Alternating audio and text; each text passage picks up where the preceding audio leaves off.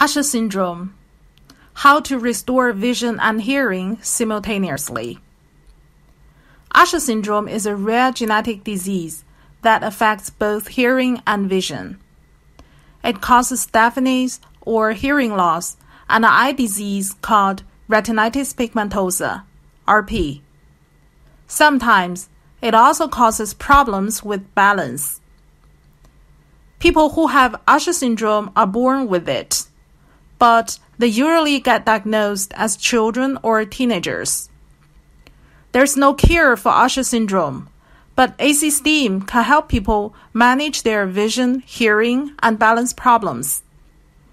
This device utilizes an eye mask, two electro pads, and two electro ear clips to transmit the specific frequency alternating current to different acupoints.